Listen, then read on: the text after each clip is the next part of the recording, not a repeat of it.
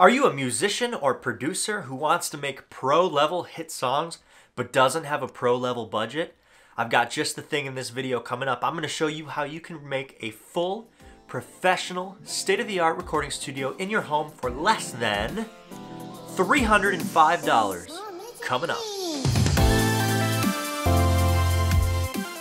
Welcome back. My name is Jack. Thanks again for tuning into the show. It's my goal to help creative music makers get better at making music at home. In this video, I'm going to share gear recommendations for some of what I think are the most valuable and budget conscious options for new producers or anyone looking to build a budget home studio. This setup will allow you to start from scratch but with this list, I am assuming that you have some sort of music production computer to work off of. Now, that could be a laptop or a desktop, but you will need a computer for the rest of these items that I'm gonna recommend to work. The first item is gonna be an audio interface. The audio interface that I recommend is the Focusrite Scarlett Solo. It's a great little interface, and there are cheaper options, but I really recommend this one because of the bundled software that it comes with. It actually comes with free versions of Pro Tools and Ableton that are really going to allow you to keep your costs down when building this studio setup because you really do need a software. I have had a lot of success with Scarlett interfaces. I've had three or four different interfaces over the years. My current interface is a Scarlett 18i20. I really love their interfaces. They're great products. I've never had an issue with any of them. So I really feel good about recommending this interface.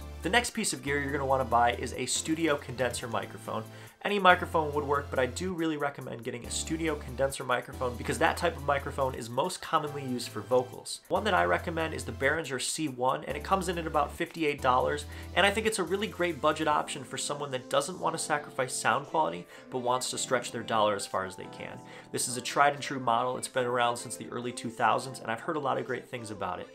Honestly, I would love to have two of these mics just to have in the mic drawer for overheads, to throw them in front of guitar amps. They have great clarity for the price, and I really do recommend the Behringer C1 vocal microphone. Now you've got an interface and you've got a microphone, but you need a cable to connect them. I'm going to recommend just an Amazon Basics XLR cable. 10 foot should be enough. If you need more, you can order more, but these are great cables. You want to have as many of them around the studio as you can. They make mics work. Now that you've got your mic, your interface, and your cable connecting them, you're of course to need a microphone stand. I found one on Amazon for $20. It's nothing fancy, but it'll definitely get the job done. It's great to have at least one of these in the studio because without it, your microphone's just to lay on the table and you're not to get a good recording that way. So definitely pick up one of these microphone stands. Hey, if you're enjoying this content, do me a favor and like, comment, and subscribe below. Your support means the world and it will really help enable me to keep making great content like this. Let's get back to it. The next piece of gear is small and easily overlooked but I highly recommend it, and it is a small pop filter. What this does is it prevents large bursts of air from hitting the microphone and overloading the signal. These are highly, highly necessary for any vocal recordings as the P's and the B's, what we call plosives, they tend to really mess up your vocal recording. So you're going to want to get one of these, attach it to the mic stand, hold it in front of the microphone to deflect or break up any of those large bursts of air. The next piece of gear I recommend is a high quality pair of studio monitoring headphones. And this is really important because until you're able to afford reference monitors or monitor speakers, you really want to use high quality monitoring headphones to make sure that you're accurately hearing what you're working on.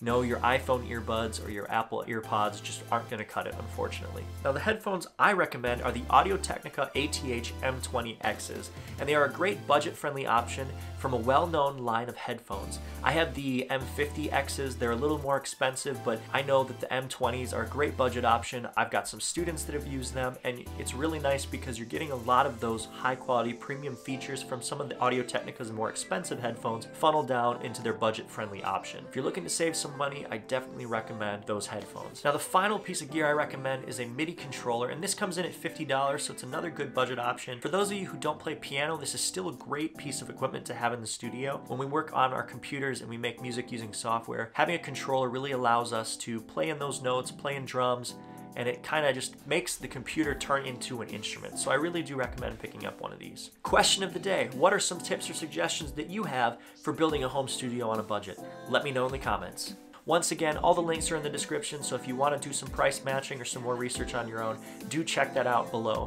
Thanks again so much for watching. Before you go, please subscribe, like it if you liked it, and let me know in the comments what video I should make next. Any feedback is super helpful. I am new to this, but I am trying to get better. So thanks again so much, and I'll see you in the next video.